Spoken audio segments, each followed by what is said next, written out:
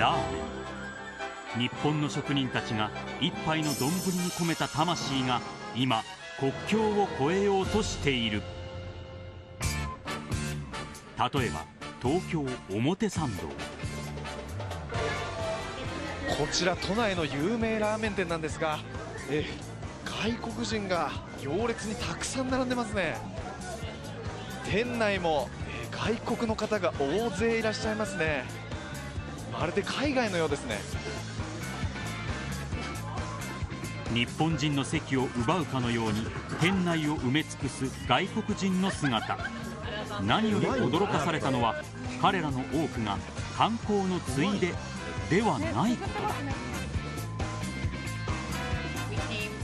だラーメンを食べるために日本に来たの。本当よ。そう言い切った女性はロサンゼルスからの2人連れさらにこちらのご夫婦は。南アフリカから食べに来たわ。なんと地球の裏側からこのラーメンを求めてやってきたという。豪快にスープを飲み干していたのはイタリア人女性。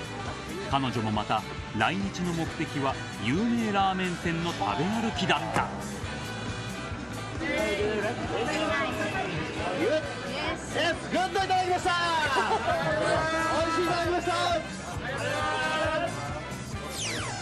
もはやちゃんとしたラーメンを食べることが日本観光の目的となっていた外国人たち。彼らが日本のラーメンへ注ぐ愛情や理解度は我々日本人の想像をはるかに超えたステージへと突入しているらしい。この豚骨スープは肉の旨味が凝縮されていて塩気もちょうどいい。ストレート麺とのバランスもなかなかね。ここのは豚骨と鶏ガラを合わせたダブルスープですね。だとするともう少し太麺の方がスープとの相性がいいと思うんだけど。かと思えばネットの動画サイトにはこんなラーメン愛自慢まで。なぜか10カ国以上もの人々が競い合うようにラーメンのうんちくを披露する動画サイト。池袋は世界中で一番美味しいラーメンが食べられる街として有名なんだ。そう語るのは自分流名店の見つけ方を披露する男性だ。最高のラーメン店というのはちょっとした路地にあるこっちだ。